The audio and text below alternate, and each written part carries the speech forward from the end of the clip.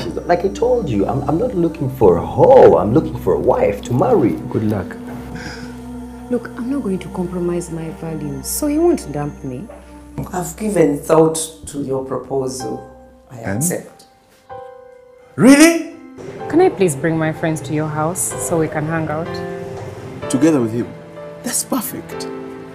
In what way? That is perfect. I mean, go meet him, show him that you're better than him. On condition if we are to stay together, I have to be CEO first.